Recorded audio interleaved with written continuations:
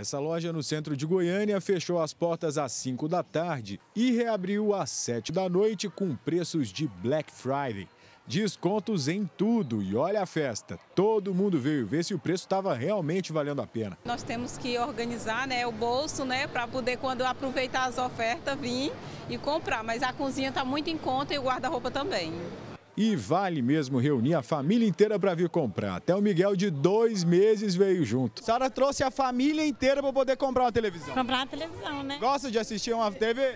Gosto muito. A loja inteira tá de promoção, começando pelas televisões de 32, 42, mais de 50, do tamanho que você quiser.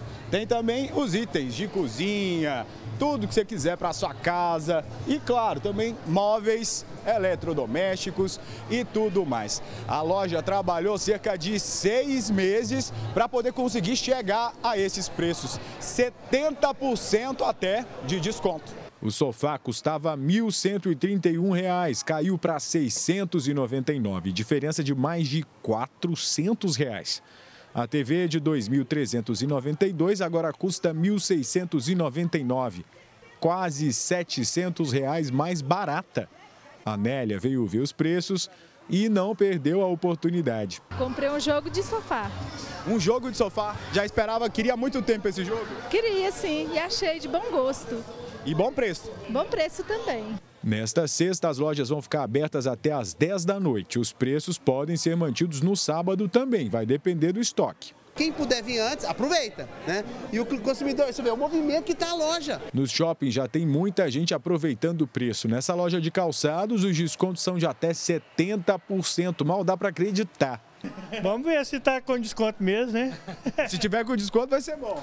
Vai, né? 70% é bom, né? Quem sabe já não dá para fazer as compras de fim de ano, hein? É uma oportunidade única que o pessoal tem, né, para comprar para a família, presentear os parentes. A Elisângela veio aproveitar os descontos. Com um neném na barriga e outro no colo, tem que economizar. Tá bom os preços, então? Tá bom. Dá para economizar? Dá. A vovó Coruja já estava prontinha para levar o presente do neto. Os netinhos têm que ganhar sempre, né? Não é do primeiro. A sandália com certeza é legal, mas ele gostou mesmo foi do microfone, olha aí.